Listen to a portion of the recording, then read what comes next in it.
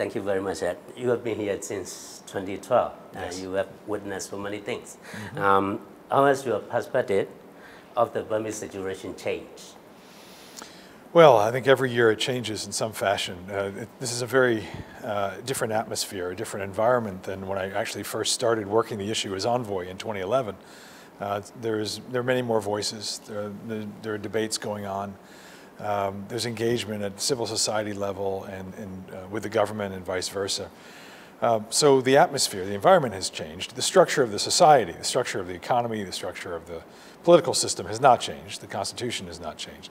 So, but it's a, it's a different in that way, and that's what's exciting about the election. I think is you're seeing uh, real campaigning and real debates occurring uh, that really we didn't expect, say, uh, three, four, or five years ago.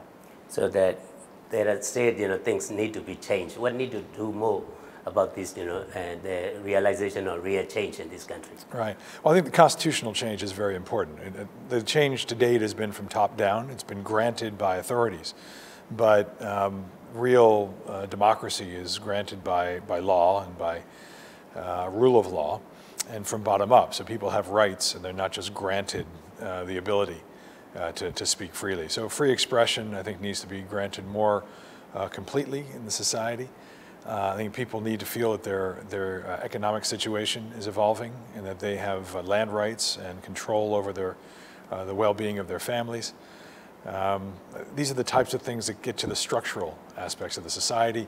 Civilian control of the military is very important. The military's role is still a big question mark.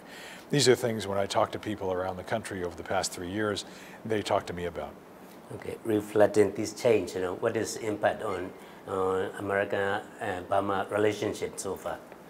Well, we've obviously evolved greatly. In the past, we had uh, we were alienated from each other. We didn't have formal diplomatic relations without an ambassador. Uh, we had a charge here, and I was the first ambassador in more than 20 years. Uh, we've had the president of the United States here twice, uh, and he he was the first ever sitting president. Uh, so it's become more normal in that way in our interaction. Um, and we are absolute supporters of the reform process. Um, but there's still ways to go to fully normalize. The election will be an important moment uh, in, in this process. But you know, we, we have been on the side of the people of this country for, for a long time. And we will not abandon the people of the country and, and uh, our commitment to ensuring the success uh, of this country uh, for, uh, for years to come.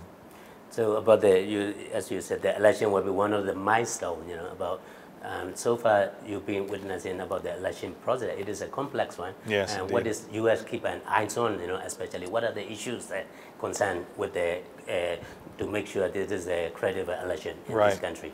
Well, there are many issues, and the Election Commission has had a very difficult task from the beginning. Uh, this is a, a difficult thing to have a high-quality election. It requires a great deal of capacity that I think they have they've had to develop uh, on the run. You know, and it's we're within a short time of the election. Um, I, there are a number of things we look at. I mean, the voter list issue obviously is a big one, and that's a, a very, very high-profile issue for the people of the country. Uh, voter education is very important so that the people here understand uh, their rights as voters and how to actually vote. Um, the questions of advance voting, that was a big issue in 2010. Ensuring that advance voting is monitored and fair uh, process.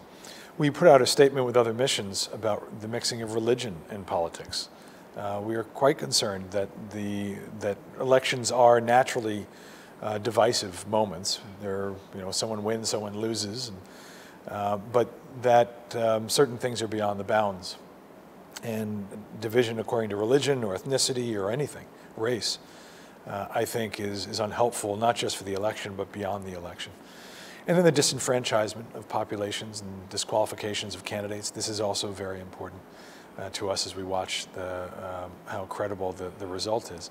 So we say inclusive, transparent, and credible. uh, and it's important that, um, that the authorities are transparent about the decisions they make, including the evaluation of, of complaints, uh, that it's inclusive of a wide variety of people in this country, so the, the result truly reflects their will, and then credible in the sense that people look at it and say that reflects what we decided on on election day, and we can then move forward together to the next phase, which is the most important thing, is getting on to the hard work of, of truly developing a stable, prosperous, and just society.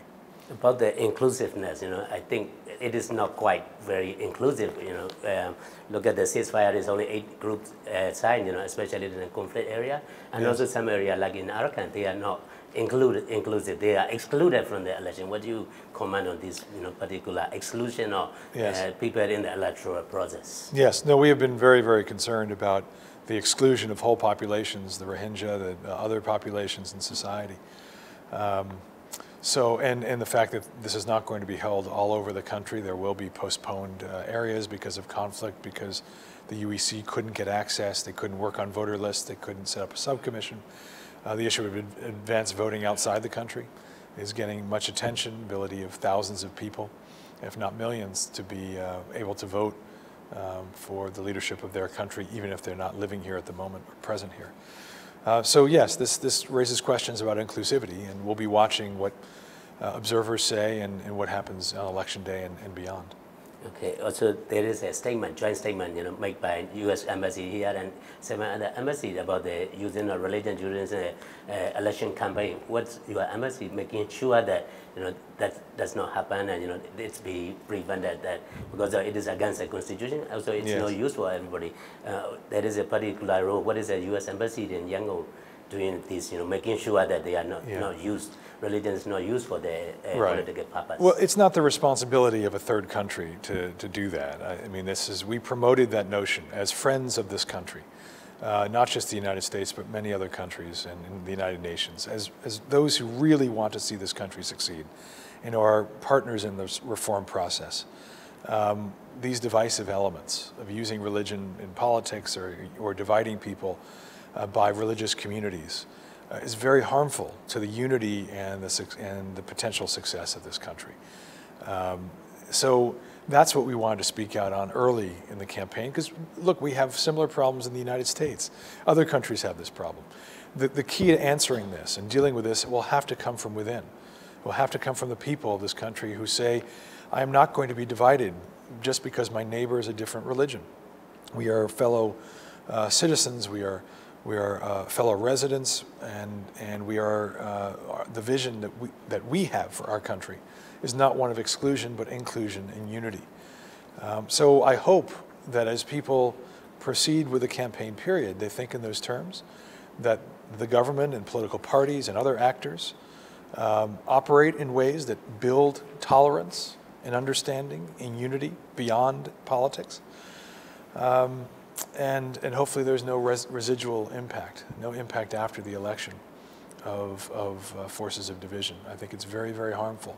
So it really is in the hands of, of the people here to decide what kind of country they want uh, and how they will vote based on that.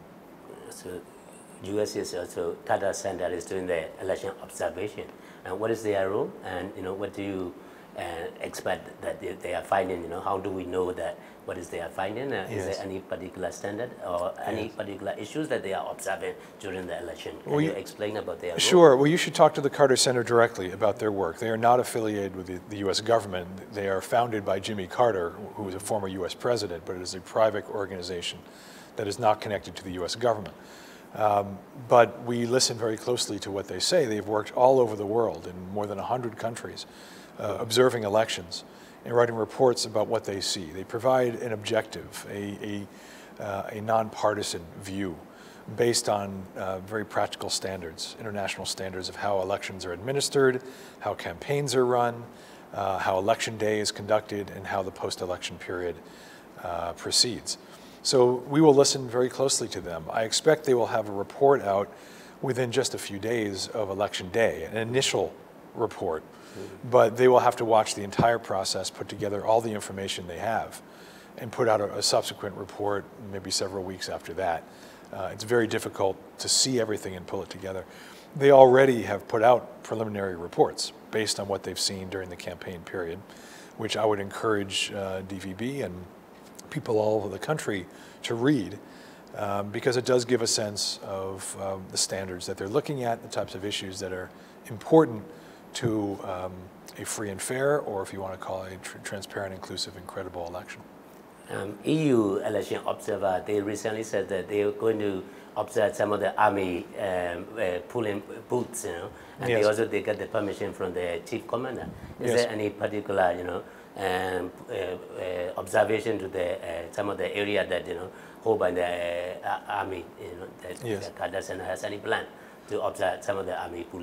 You should talk to the Carter Center, but they are very systematic about this. They, they've been here for a while. They've done investigations into the local conditions by constituency, and they do make judgments based on whether this constituency is particularly sensitive or difficult or has controversy or um, you know, people need to feel reassurance of uh, observers.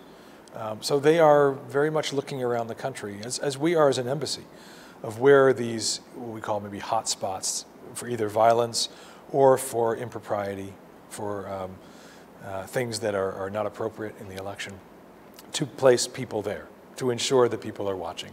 And it's not just important to report on what you see, but it's also a deterrent uh, for those who know that people are watching. Uh, and it can reassure voters in that constituency that people are there watching. That's also the role of the international community, not to give it a thumbs up or thumbs down. And I want to manage the expectations of people of this country.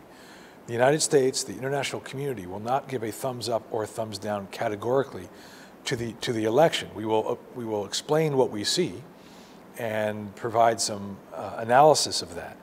But ultimately, the decision on the election will come from the people of the country. And we will, uh, but I think our observation and our contribution uh, can build confidence in the process. And obviously, if there are obvious systematic problems, I mean, very obvious bad problems, then we will call that out and will have its own effect. I should also say, um, you mentioned the Carter Center, there will be many other observers on election day. There are domestic observers, PACE um, is uh, domestic observers, thousands of, of people, of, of citizens of this country will be watching and observing. We as an embassy will have teams out to go to polling stations. I will go to a few places. Well, So- will you be there on that day? I- I Do you intend- have any specific plan? I do have a plan. I'm not sure I'm ready to say what the plan is yet. I will certainly let you know. But I plan to go elsewhere, just a couple places uh, on election day, just because I'd like to see and talk to people um, about, uh, about what's happening. Uh, some great interest. And I used to do this. You know, I used to work for the National Democratic Institute, which is one of those. They are training the domestic observers here, PACE. Uh, I used to work for them. Uh, and I enjoy elections. I, I think they're the most, I get energized. I think they're one of the most inspiring things to, to watch. People, you know, uh, oftentimes under hardship, uh, who, who uh, courageously say, I want to be heard. I am going to be heard today. Listen to me. Uh, and I'm going to go to vote. The vote is secret, and I'm going to tell the government and the society this is what I think. It's a very, um, it's, it's a very profound moment to me, and I, I love watching it, and I do hope people come out and vote and express their voice. My final question would be, you know, uh, inclusive and also credible and transparent election. What need to do more, you know, so far from your comment? What do Right. you comment about this? Well, I think transparency is uh, very, very important, again, to build confidence. And uh, we have encouraged the, the Union Election Commission, uh, Foreign Ministry, the Home Affairs Minister, anyone who has a part in this election to be much more transparent um, in explaining to the media, explaining to the public what they are doing, why they are doing it, so they can provide the real analysis of things. I think the UEC has tried on occasion. I think they've been, they felt burned by the, by the media, that maybe they haven't, uh, the media haven't reflected um, what they've said and, and, the, and the rationale. But I think they also can do more uh, to explain, do more voter education, explain the decisions they make, uh, explain what's going on with the voter list. I think there's an actual story they can tell that I think is more reasonable than maybe in public, or at least they should put it out there. The Home Affairs Minister this, uh, with the special police. Um, I, there are a lot of questions about the special police. Who are these 40,000? What are their roles? What are their responsibilities? When we talk privately to the Home Affairs Minister, he has very reasonable notion about it. And he may have explained it to a few people, or, but they need to put something out more openly, I think, to build confidence. So it gets to the media, people hear it, and they go, okay, now I understand, I feel better about this, and I, have a, I can watch this based on that. So all of this, I think, is important to build confidence. um, in the credibility and the transparency of this election. Um, and I think um, flexibility as well from the Election Commission, given the low capacity and the problems with regulations, problem with the process, that flexibility to ensure that people are able to vote on election day, that voter lists are as good as they can be, and that they don't disenfranchise people. They add to inclusion will be very important, I think, in days to come, so that after the election is a moment of reconciliation. People can come together and say, this was a vote of all of us. We may have, some of us may have lost, some may have won, but um, we must come together and move on to the next step of building uh, a country that is just, uh, prosperous, free, developed, uh, which is the, the job of all of us. Uh, and we in the U.S. will support that for years to come. Any message for the Burmese people in general from the American people about this particular moment, about this important moment? Well, I say, I mean, as I say, I think if, please do go out and vote. I know there are a lot of problems in, in this election. I think there's a, many uh, issues of capacity and administration of this election that, that, um, that lower, I think, enthusiasm sometimes about whether it will be indeed uh, a, a, credible, reflective election of their will. Um, but this is an important moment, and people have struggled for democracy. They've struggled for the moment of voting uh, for their leadership. And I really hope that people test this moment, test this system, um, and express their voice. And always remember this vote will be secret. That do not let anybody tell you what to do. And if they do, you can tell them whatever you want of how you voted, but you vote. This is secret. And I think it's very important for everyone to feel empowered. And it's a very important democratic mindset to feel empowered and not intimidated, to go and express your will uh, and feel proud walking away that you have stood up as a citizen um, and, and spoken out on behalf of your country and your, and your family uh, in, uh, for the future. Thank you very much. Thank you.